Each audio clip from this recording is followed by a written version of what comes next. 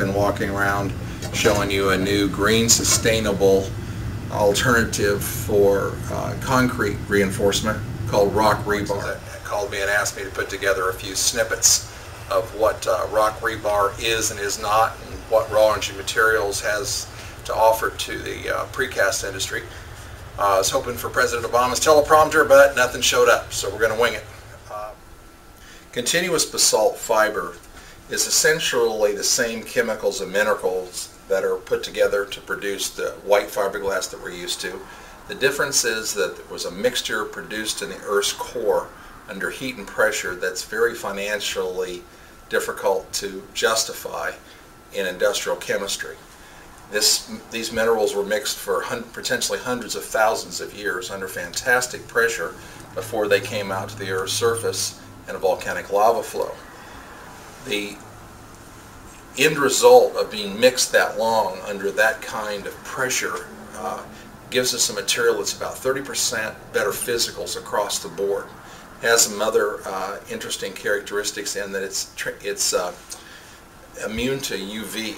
You can we're doing a lot with it in the solar industry and the wind industry because it can be outside unpainted and not deteriorate. As I said before, it's totally non-rusting.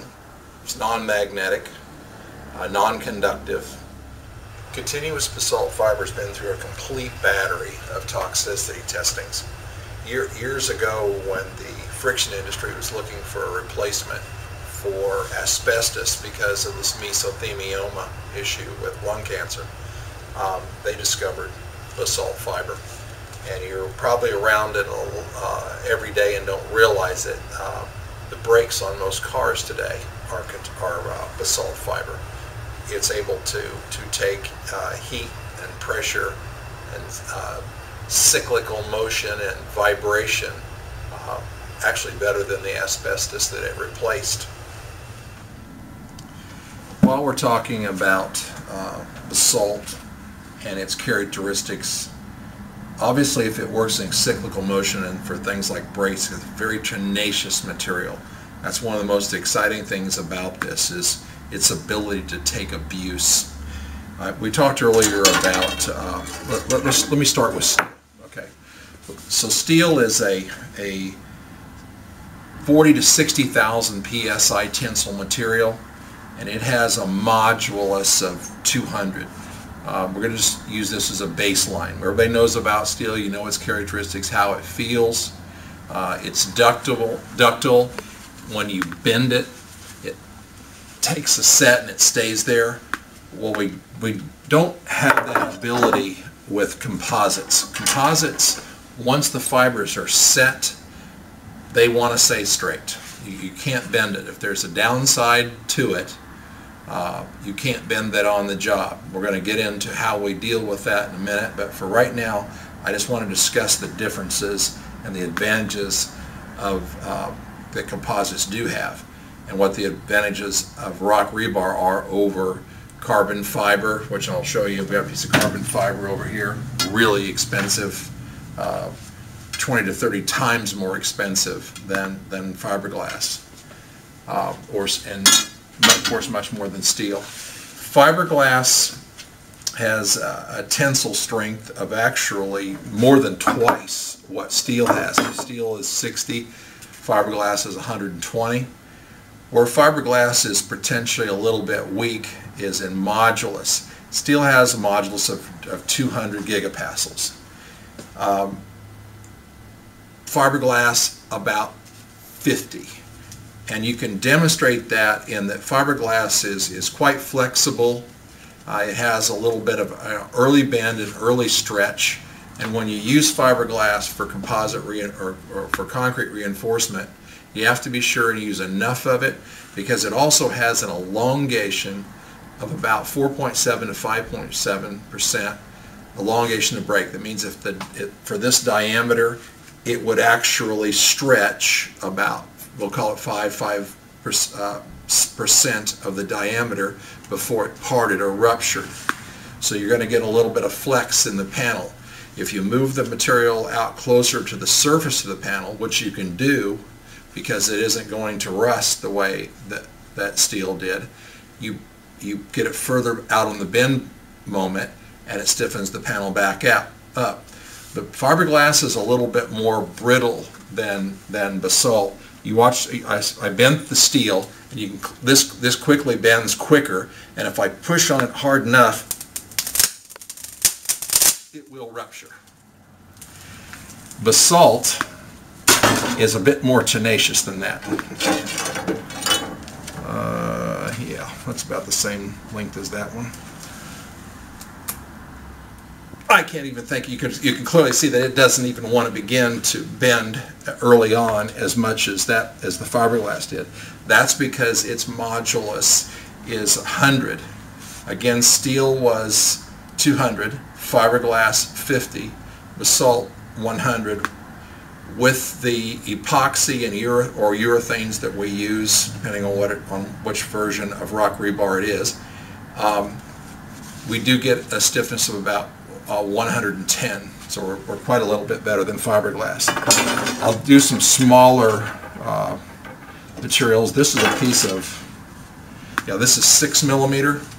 And at this level, not only will it not break, uh, it'll bend. The, the, swimming pool guys love this because you can see that it would make a really nice corner uh, for, a, for a pool. You don't have to play games with bent steel. The uh, little four millimeter, this is as small as we produce it because it you can, you can tie this stuff in a knot. It's an extremely tenacious material.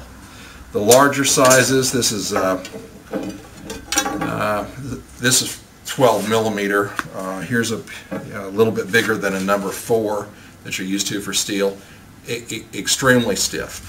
Once we get past this size and, and we, we produce rock rebar up to an inch and a half, here's a piece of one inch um, this is a real hoss. This, this would be e easily replace uh, inch and a half steel if you ever got in anything like that.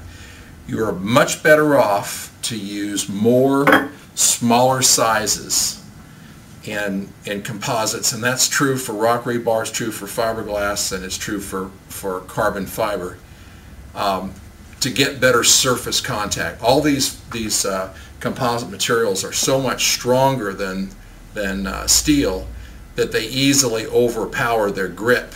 Uh, eventually, if you push on something with a composite reinforcement, it's just going to slip it.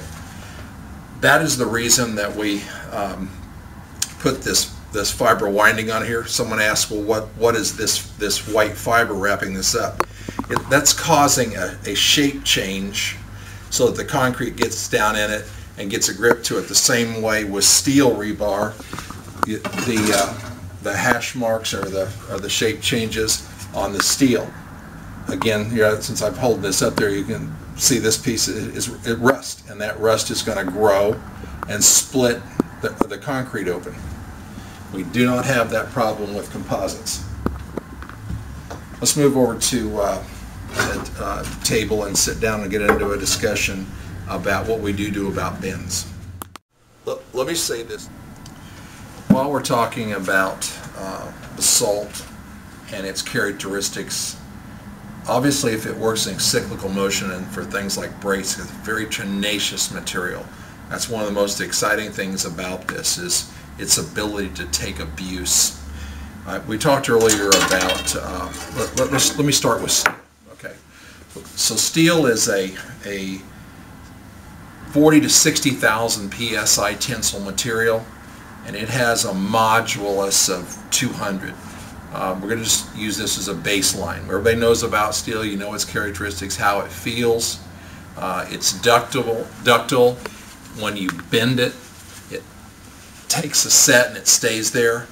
Well, we, we don't have that ability with composites. Composites, once the fibers are set, they want to stay straight. You, you can't bend it. If there's a downside to it, uh, you can't bend that on the job. We're going to get into how we deal with that in a minute, but for right now, I just want to discuss the differences and the advantages of uh, that composites do have and what the advantages of rock rebar are over carbon fiber, which I'll show you. We have a piece of carbon fiber over here, really expensive, uh, 20 to 30 times more expensive than, than fiberglass. Uh, or, and of course much more than steel. Fiberglass has a, a tensile strength of actually more than twice what steel has. Steel is 60, fiberglass is 120. Where fiberglass is potentially a little bit weak is in modulus. Steel has a modulus of, of 200 gigapascals. Um, fiberglass about 50. And you can demonstrate that in that fiberglass is, is quite flexible. Uh, it has a little bit of uh, early bend and early stretch. And when you use fiberglass for composite or, or for concrete reinforcement, you have to be sure to use enough of it because it also has an elongation of about 4.7 to 5.7 percent elongation of break. That means if the it, for this diameter, it would actually stretch about we'll call it five five uh, percent of the diameter before it parted or ruptured. So you're going to get a little bit of flex in the panel. If you move the material out closer to the surface of the panel, which you can do because it isn't going to rust the way that that steel did, you you get it further out on the bend moment and it stiffens the panel back up. The fiberglass is a little bit more brittle than, than basalt. You watch, I, I bent the steel, and you can, this, this quickly bends quicker, and if I push on it hard enough, it will rupture. Basalt is a bit more tenacious than that. Uh, yeah, that's about the same length as that one.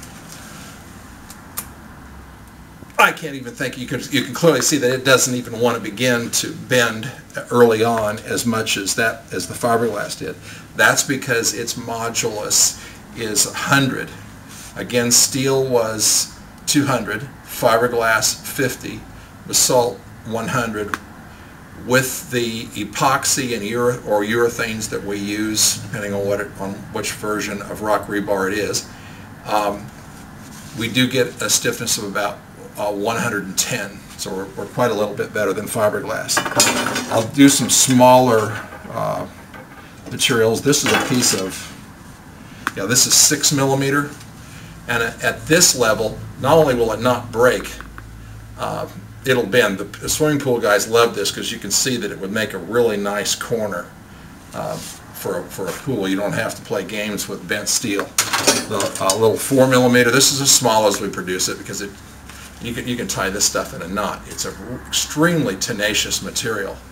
The larger sizes, this is uh, uh, this is 12 millimeter. Uh, here's a, a, little bit bigger than a number four that you're used to for steel.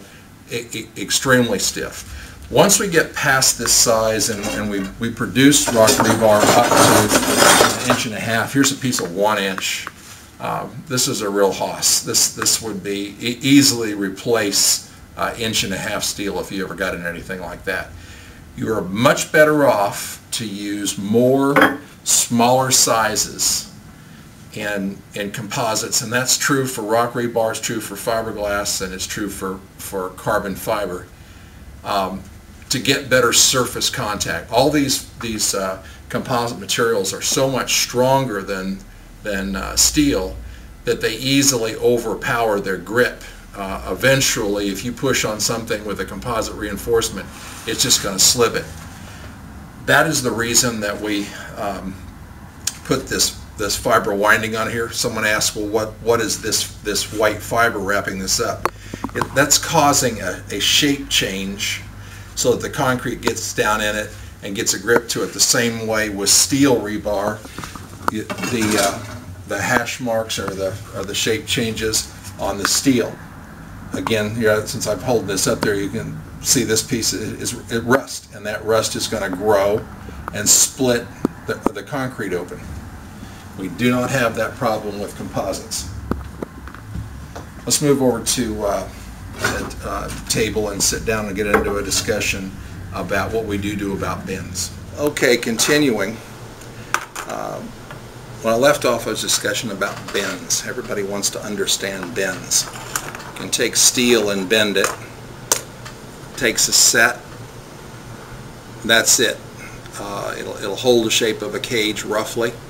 As I said earlier, if it gets too close to the edge of the concrete, and goes through or is just too close where it can wick, wick moisture in, you have a, have a rust issue. Getting into, into composites, you completely eliminate that, but you also eliminate the ability to bend the material. We do make bends, the, the composite industry makes bends for use in, in structural materials for, for uh, concrete. Traditionally, those bends have emulated steel, piece of number three steel, piece of number three. This is a real old piece of rock rebar when we used to bend it this way. There's uh, should be a piece of fiberglass rebar floating around here. Also the same bend. This is traditional in the way that the way the industry has performed a composite bend. The problem with it is that when the longitudinal material is held is is inside it and it's tie wrapped, it fits very poorly.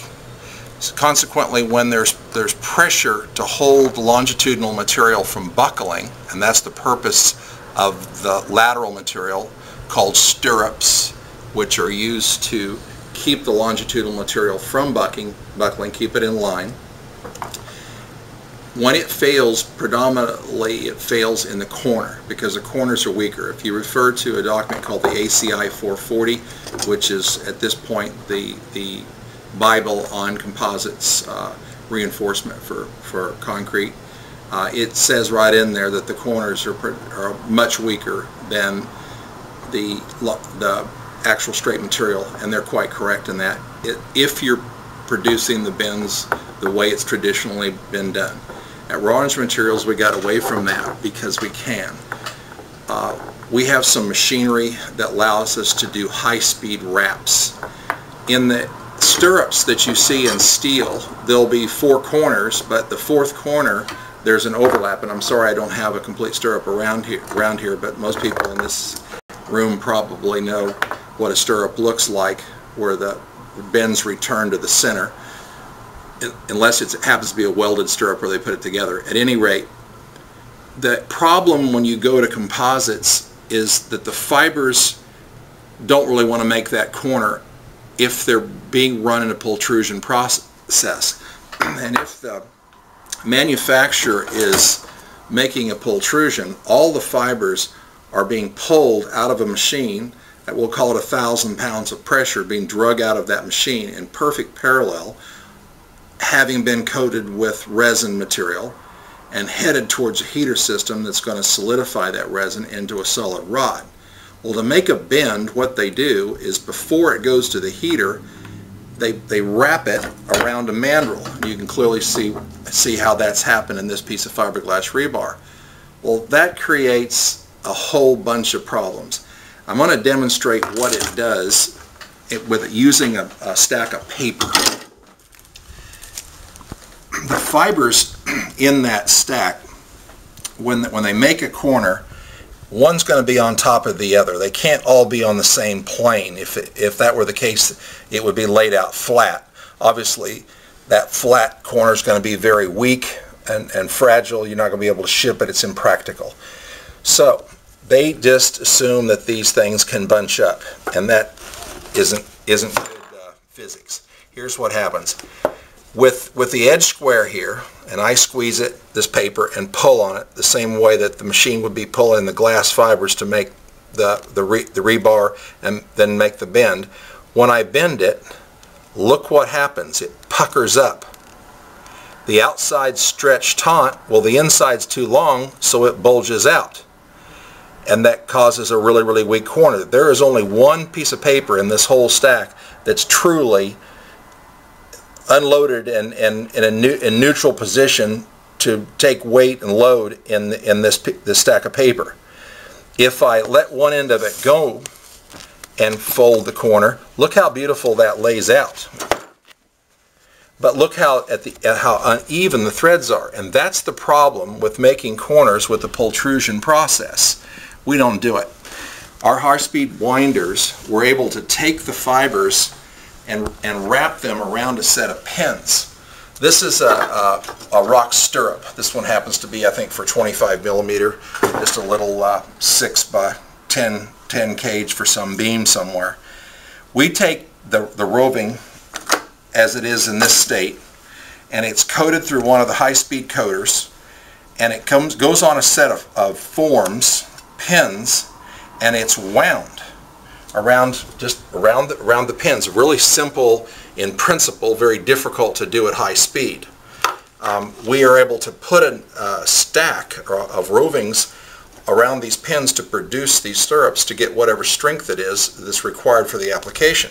Well, the beautiful thing about it is since all those were wrapped, they were wrapped like belts of a tire or belts of a lifting strap that we all trust.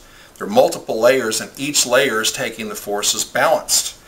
If I put a piece of, of uh, rock rebar up into it, um, here's this little, little 25 millimeter piece will probably suffice to show you how perfectly it fits.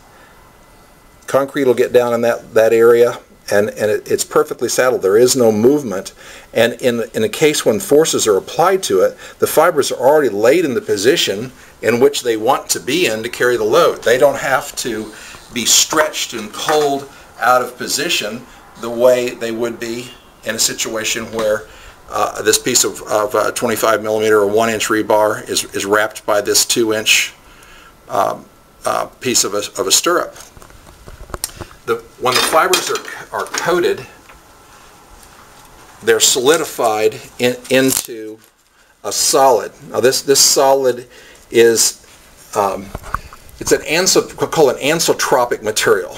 That, that means that the strength of the material is, is with the length of the strands.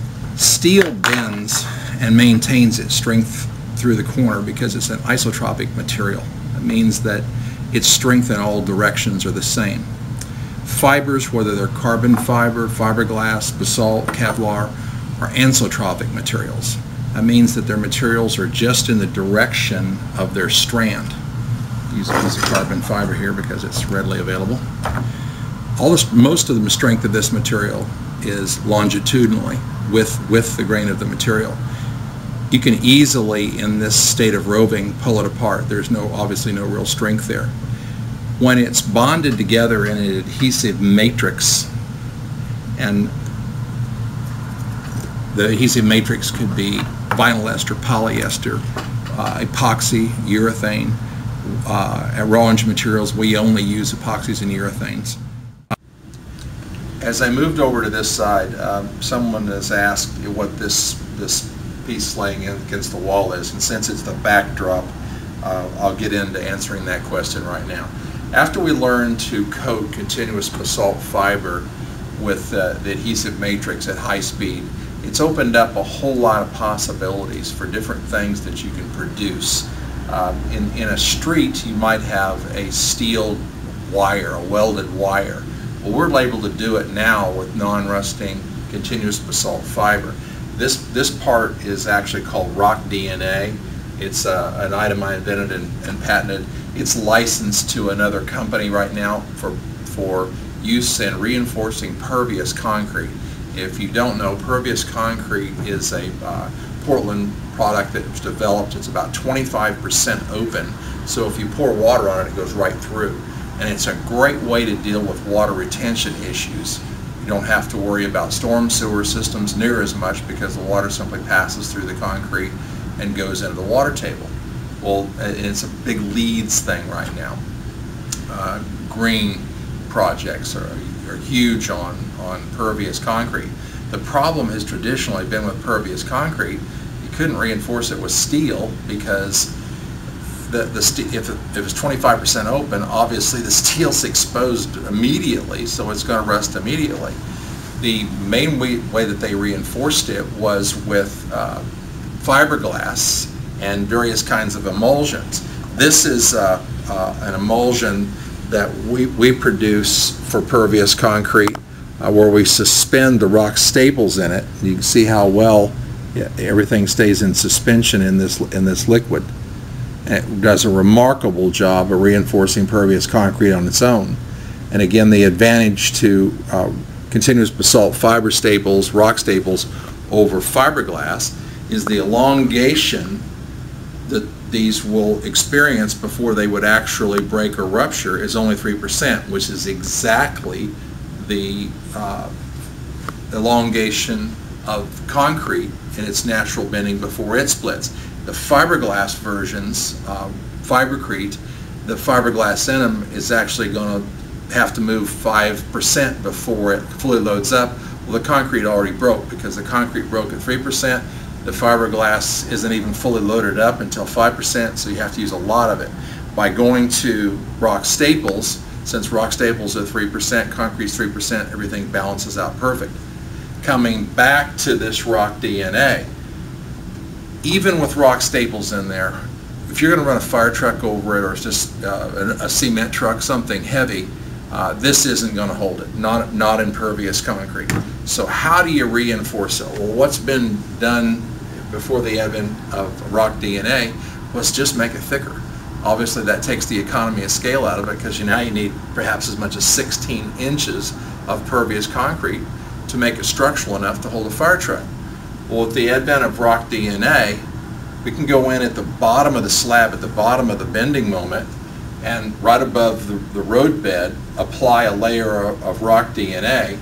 And the concrete, when it's poured, goes through all these holes. Well, because it goes through the holes and it, and it gets to these intersections, it's mechanically locked. We don't have a slip issue.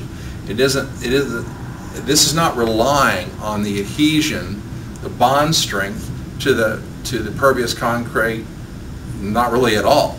Uh, it obviously does for some portion of time, but in the event of a, of a one-time overload like a fire truck ran over let's say that it did crack the, the pervious concrete.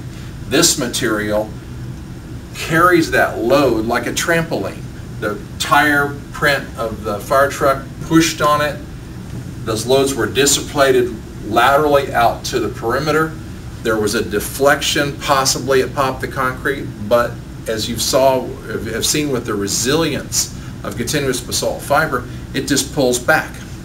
There's a uh, single strand of rock DNA here, which we sometimes use for headers, where you're worried about slippage, where we really want a lot of, of uh, uh, potential to carry tensile loads.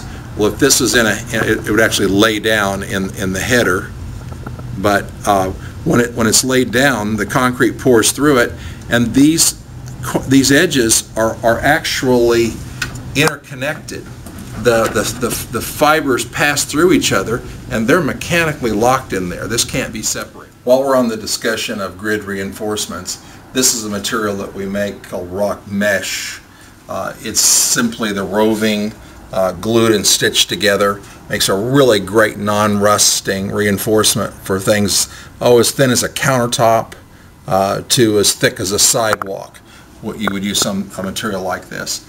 We make it, uh, this is one by one, we make it up to two by two and then down to eighth inch. There's a, here's a piece of rock mesh that's uh, quarter inch this, this material was something that was developed for SIP panels, structural insulated panels, mag board, MGO board.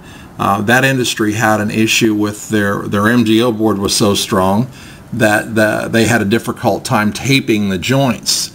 Uh, it exceeded what fiberglass could do in tensile when they had thermal swings.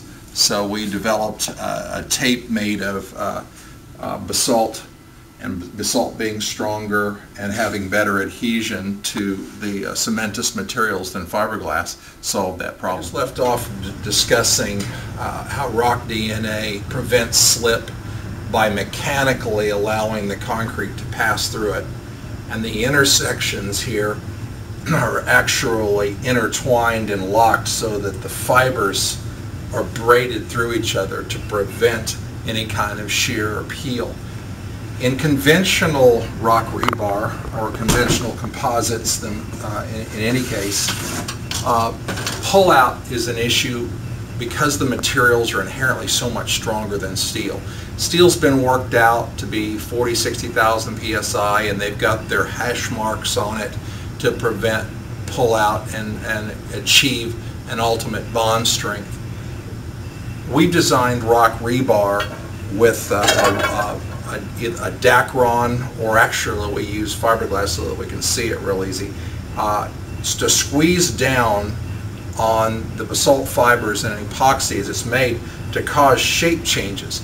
The winding doesn't really have anything to do with the strength of the bar, but what it does do is, is force these shape changes and allow concrete to get in here and get a grip on it. And we have it worked out uh, with the spacing and the depth of these uh, to where we get a really good bronze strength. If you're going to overlap two pieces of rock rebar, you want to do it about 20 diameters of the bar, and you're going to achieve in concrete uh, uh, sufficient pull out to lap from one to the other. On the screen here is a, a, a beam test that, that uh, goes a little ways to, to showing you the potential that, that, that rock rebar has to, to stiffen something in its tenacity. This beam has three pieces of 8 millimeter. 8 millimeter is a little smaller than number 3. Number 3 is like 375 thousandths of an inch. This is uh, 352 thousandths of an inch. And three pieces of this are buried in this thing, one inch from the bottom, uh, middle, and an, an inch from each edge. He, he's applying a tremendous amount uh, of load to this, and you can see how much deflection there is in this beam. And the, the kid that's doing it's grinning because he's so impressed how much bend there is in this piece of concrete. When we take the load off of this, this concrete is going to return to straight. But it keeps, it continues to apply a load to it. Uh, now it, it's, it's, it's uh, bent and it has failed, but look what happened. It did not break or separate, part or rupture the continuous basalt fiber or rock rebar in the bottom of it. It crushed the concrete in compression. The force, bending force on it, overloaded, exploded the concrete on top. Uh, I believe there's a shot right after this one uh, where it's that the baseline test for the rock rebar was performed that went in this beam so we knew what we had to work with. This is uh, uh this piece of 8 millimeter. Um, that's 18 inches in between here and there are 18 inches of material buried in these pipes in an epoxy compound. Rock rebar is so strong that to, to grab hold of it with collets the way that conventional steel rebar is done, it, it, it easily exceeds what the collets can do as far as, as grabbing the material. So we have to epoxy it into the uh, pipe of a much larger size to get a pull on it. This little green device right here is testing for Young's modulus. And in the picture right after this, uh, you're going to see what it looks like when it ruptures. And this is this is at it's failed. It's been pulled on now. That was around 160,000 psi of pressure was put on that material, and the failure was not straight across as you would expect, or not straight across the way that you would see steel fail. It it actually sheared the fibers, sheared didn't, but it sheared the resin holding the fibers together. Technically, this is more a test of the epoxy holding the fibers together than it is the fibers. But the point is that, that in a failure, it's, it's, uh, this, the failure is very spread out in uh, rock rebar. Okay, as I said earlier, uh, President Obama wouldn't loan me the teleprompter, so we're winging this. I want to make sure that we get everything covered. I'm going to have to take this disc to the airport so it gets there for your, for your conference. Um, we discussed a little bit about the rock rebar and the windings, and I believe I covered that if you're going to splice sections together, you want to do it at 20 times the diameter. That's your overlap between two pieces of rock rebar. Um, cages and stirrups and corners.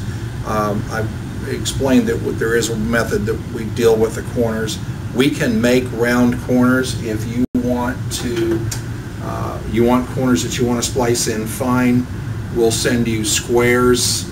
Uh, you can trim them here, trim it off at the corner. Now you have a corner that you can splice to a piece of uh, rock rebar at, at uh, you know 20 times the diameter and, and create yourself a, a, a corner there. That's one way.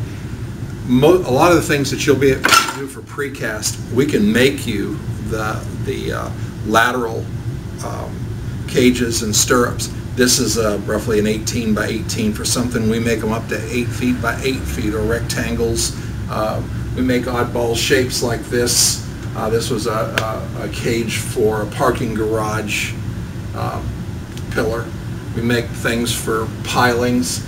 This is, uh, this little thing I've got tilted in the chair here is, uh, you know, just a little, a little cage. People say, well, how do you fasten it? You, she can zoom in here, you see this is done with tie wraps. You can do it with uh, the steel wire twist guns or just plain old wi- wire twists if you'd like to. Uh, You can mix rock rebar and, and steel cages if you want to, but we did that for a long time uh, because we developed the rock rebar before we actually went to the cages. In a, a a later, a a minute, I get into explaining the philosophy of how the stirrups are produced and that they're wound as opposed to bent. That's coming up here in in a middle. I want to be sure we cover uh, the actual uh, rock rebar itself. When we run it, it's a continuous, constantly coming out, running, eat, a master coil's around 9,000 feet long. Th- These are 650 feet. This is uh, 8 millimeter. This is 650 feet, probably weighs, I think it weighs 50 pounds. Uh, Here's a little a coil of, that's number six, or 6 millimeter, excuse me, not number six, 6 millimeter. Um, This one is 10. Uh, We coil it up to, um, up to 13 millimeter or number four. We can do, uh, put 5 eighths in there, but it really, it, it's a giant spring. Once we go past uh, 13 millimeter or number, uh, number four bar, half inch bar, it'll go to 40, 40 foot rods. Um, Maybe some special occasions. We do a lot with seawalls, uh, you know, big long seawall cap. Uh, We can run nine strands of 12 millimeter down, down that. There's no splices, bam, bam, it's over with, and never have to worry about the rust or anything popping through. Um, the, since this is in front of me, the, the stirrups, um, if, if you were gonna make uh, a lot of cages, uh, we, we adjust the pins on our machine to run you the stirrups at whatever size you want, length and width, and then uh, wrap them. You'll take and, and drop, you know, punch the rebar, rebars through it, uh, and then spread them out.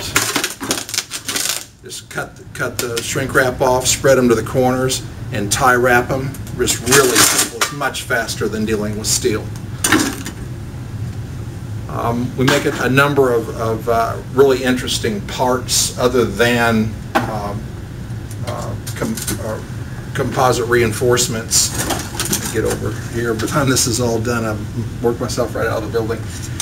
Uh, Continuous basalt fiber can be run really smooth and beautiful. We're uh, get- getting into window frames, door frames, solar panel frames. Um, the thermal insulating qualities, the fact that the expansion characteristics are the same as glass.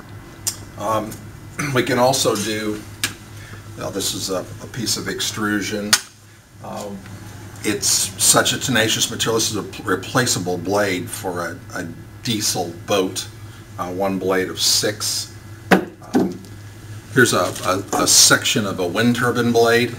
This is, it's unbelievably strong and it weighs nothing. This weighs like a pound, a, a pound a foot.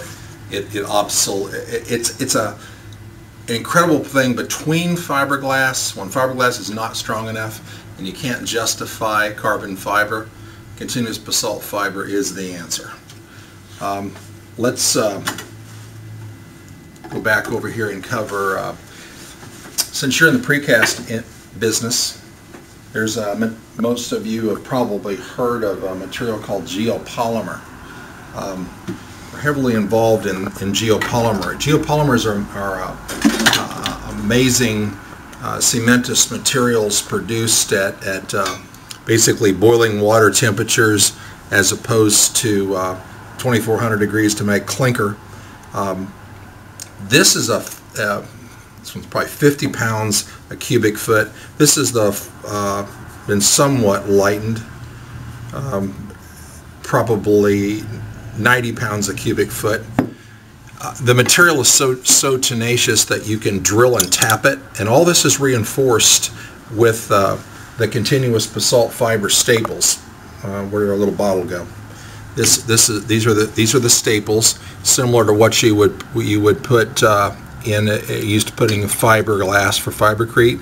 You, you, uh, that's uh, rock staples. They're a little bit different shape, and they have a, a little, little bit of a different uh, coating on them for, for good adhesion to, to the cement. This is, uh, I may, may have shown this before in this, this video, but they're floating in a polymer that go, then goes into the geopolymer cement. And this will also work in Portland. Um, uh, Instead of uh, fibercrete, um, you'd be, you'd be basaltcrete. Um, tena- The tenacious nature of the material, this, this happens to be a part for a uh, mount for a solar panel. And instead of producing it in, in steel, we, we make it in basalt, and it, it's, this is uh, much less expensive than steel, never ever rust, impervious to UV, and makes a, a really interesting part that goes on a, on a solar panel. Channels, different thicknesses of, of parts that can be produced with the material. There's a lot of things that, uh, that we can do with it. That the key was uh, uh, our methodology of coating the basalt fibers to be able to run them at high speed. I want to say a little bit, uh, something about concrete and steel. We, we've been putting concrete, or steel and concrete to reinforce it for, what, a hundred years, getting exactly the same results. Steel rusts, when it rusts, it swells, causes what we call spalling, splits it open and fails to part. In this day and age, uh, with the internet and the ability to communicate, it's easy to find uh, data on, on the millions and millions of dollars of testing that's been done on steel and steel and concrete, all of which conclusively prove that steel rusts. All the galvanizing and zinc chromating uh, that's done are all band-aids. They're all treating the symptom of the cause. The cause is steel rust. It doesn't belong there. Composites are destined to get into civil engineering, building, precast industry, the same way that they now are beginning to dominate aircraft. Before that, it was the marine industry with boats. Composites offer a, a tremendous advantage over steel. They just need to be used the right way, and they people need to be educated on. We all know that the civil engineering community, the building community in general, are very risk averse. And I believe that the best way to sell our products, the products of composites into that industry, is to use the risk averse nature of, of this conservative industry to help us uh, to help us sell. It's it's uh, it could be argued that it's much more litigiously irresponsible to continue to put steel and concrete getting the same result. That's more important than the risk aversity of somebody not wanting to change because they're afraid they'll make a mistake. It's time that they get off the fence and give composites a chance. Time to wind this up. Uh, get this thing to FedEx so it reaches you for your show. I apologize for not being able to be there. It's just conflicting interests. Uh, with uh, solar show just just over, and I'm buried from things from that. Um, I hope you'll give Rock Rebar and Raw Energy Materials Products a chance. We're right here researching alternative ways uh, to uh, help our infrastructure. Uh, this will be great material for the precast industry. I appreciate your time. I hope you learned something. Enjoy the show, and I'll look forward to meeting you all in the future. Thank you very much.